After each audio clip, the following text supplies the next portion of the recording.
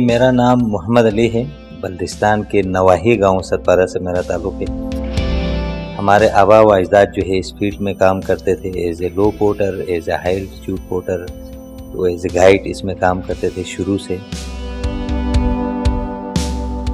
मुख्तलिफ़ फार्नर्स expeditions trekkers हमारे इलाकों में आते थे।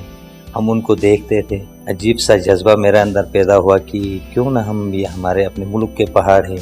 और इतने खूबसूरत पहाड़ हैं। क्या क्यों ना हम अपने मुल्क के परचम को इन खूबसूरत पहाड़ों पे लेके जाएँ? तकरीबन 1995 से लेके 2003 तक एज ए लो पोटर इन पहाड़ों में काम किया। 2004 में मुझे as a Sherpa as a height की पोटर मुझे काम करने को मिला इन पहाड़ों में।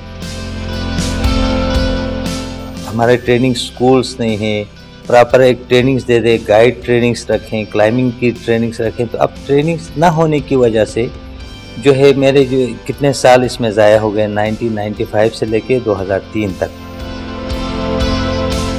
दुनिया में जो आठ हज़ार से जो मतलब अबाउ जो माउंटेन्स है, वो चौदह हैं, उसमें से आठ मैंने की हुई।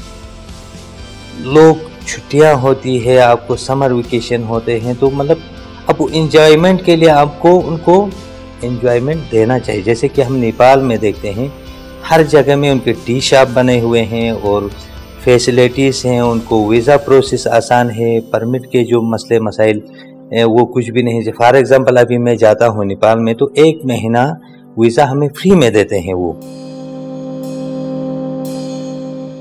तो इसको मतलब सिर्फ़ बातों की हद तक हमें नहीं रहना चाहिए इस पर अमल करें दुनिया में मैंने मुख्तलिफ़ कॉन्फ्रेंस में, अभी फ्रांस में लोगों से कहते हुए सुना कि मतलब दुनिया का सबसे खूबसूरत तरीन जो पहाड़ी सिलसिला है तो वो पाकिस्तान में है, गिलगित बल्तिस्तान के अंदर।